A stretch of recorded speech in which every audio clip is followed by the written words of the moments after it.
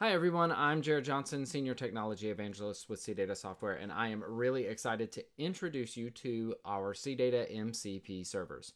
CData MCP servers allow your AI assistant to ask for answers from your enterprise data by combining the Model Context Protocol with CData's trusted connectors. Since we use the same tabular model in our MCP servers that we have used across our connectivity solutions, uh, for the history of the organization, Claude and soon other LLMs get comprehensive access to enterprise data for exploration and answering questions without the need for dozens of bespoke tools.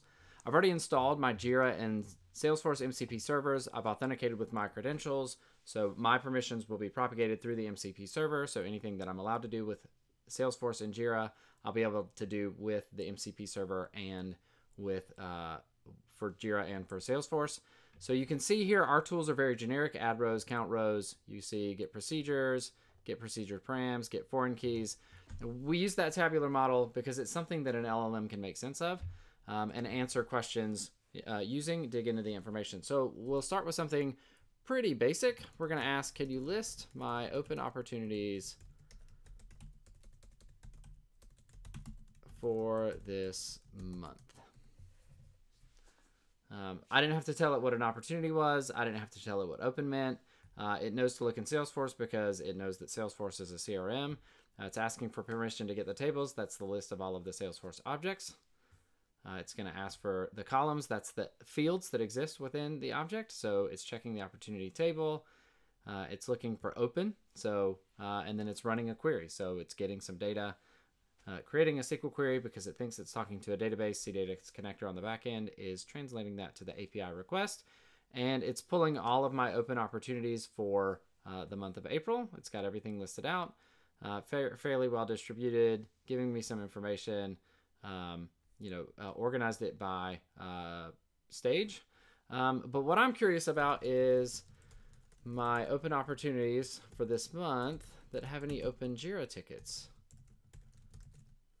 for this month that have any open Jira tickets. So what I'm curious about here is if there's something that our support team needs to be working on in order to get this ticket uh, into a, or get this opportunity into a closed state. So it recognized that there was a Jira ID field in the opportunities. So now it's going into Jira to get that information. Uh, it did the same thing. It saw what entities were available. Now it's seeing all of the fields that are available. And now we can see which ones are still open.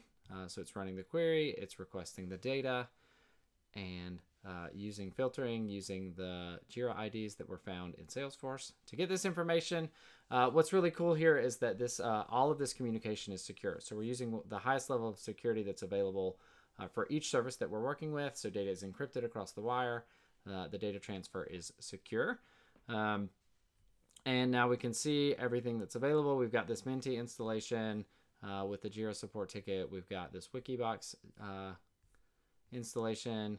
So what I'm going to do is uh, I'm just going to suppose that I've already talked to uh, the support team and they said, oh yeah, that uh, Menti installation ticket you can actually go ahead and close. So I'm going to do that now. Um, you can do more than read. You can actually uh, write, write back to the data source. What's great about the CData MCP servers is that something that you can globally turn off. So as an IT team, maybe you don't want your users to be able to write back to the data source uh, from their AI client. So that's something that you can change and permit. So uh, this is going to run through and get uh, figure out how to close this ticket. So it's looking at stored procedures. SQL stored procedures are how CData connectors perform actions that don't make sense from a read-write perspective for tables. Closing a ticket is one of those. So uh, it's running into some errors. It's gonna figure out, um, you know, the best way to solve this problem. And it looks like it has run the right query. Uh, it's closed the ticket, and it's um, you know, perform the action, it actually read data back out of Jira.